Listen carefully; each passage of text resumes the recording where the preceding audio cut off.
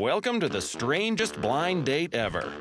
Hey, how you doing? Damn, how you doing? Could you fall in love with someone based on personality alone? What is your ideal woman? Personality, for me, is everything. Ass first, personality second. You're the best looking devil I've ever seen. This is really weird right now. Would you count this as a weird experience for you? Cheers. Uh, so I like your fin.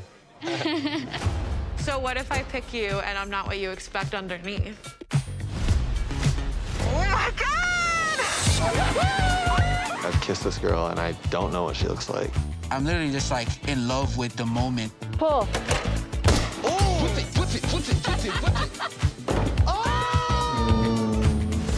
Time has come. This is gonna be really tough for me. I can't choose both of you. I've made my decision. My sexy beast is.